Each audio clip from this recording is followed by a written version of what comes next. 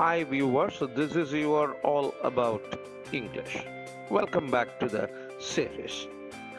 And today's context is with a new neighbor. உங்க வீட்டுக்கு பக்கத்தாப்புல ஒருத்தர் வந்திருக்கார் அவரிடம் எப்படி அறிமுகம் செய்து கொண்டு பேசுவது என்பதுதான் இன்றைய பதிவு ஆங்கிலத்திலே hello sir I think uh, you are a newcomer to this place. If you need any information about the locality or people living here, you please tell me. I will try to help you. If you have any address with you, kindly tell me and I will try to help you to locate the area or the person you want to meet. தமிழிலே. வணக்கம்.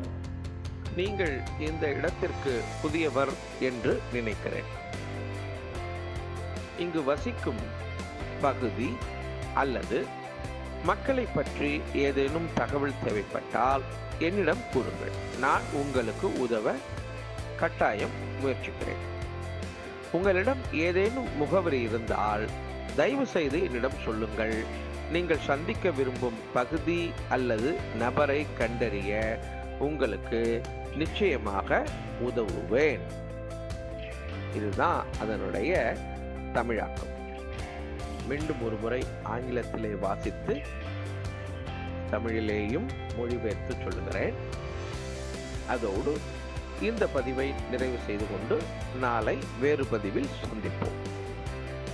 Hello, sir. I think uh, you are a newcomer to this place. If you need any information about the locality or people living here, you tell me. I will try to help you.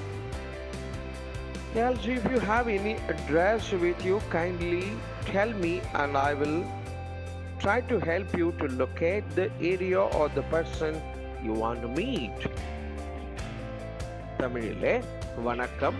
நீங்கள் இந்த இடத்திற்கு புதியவர் என்று நினைக்கிறேன். இங்கு வசிக்கும் பகுதி அல்லது மக்களை பற்றி ஏதேனும் தகவல் தேவைப்பட்டால் என்னிடம் நீங்கள் கூறலாம். நான் உங்களுக்கு கட்டாயம் உதவ முயற்சிக்கிறேன். உங்களிடம் ஏதேனும் முகவரி இருந்தால் தயவு செய்து என்னிடம் சொல்லுங்கள். நீங்கள் சந்திக்க விரும்பும் பகுதி அல்லது நபரை கண்டறிய உங்களுக்கு உதவ நிச்சயமாக முயற்சிக்கிறேன். இதுதான் அதனுடைய தமிழாக்கம். As usual it is only a sample you can create as your own என்று சொல்லி மீண்டும் நாளை சந்திப்போம். அதுவரை உங்களிடம் வணக்கம் கூறி விடைபெறுவது ஆல் அபவுட் இங்கிலீஷ்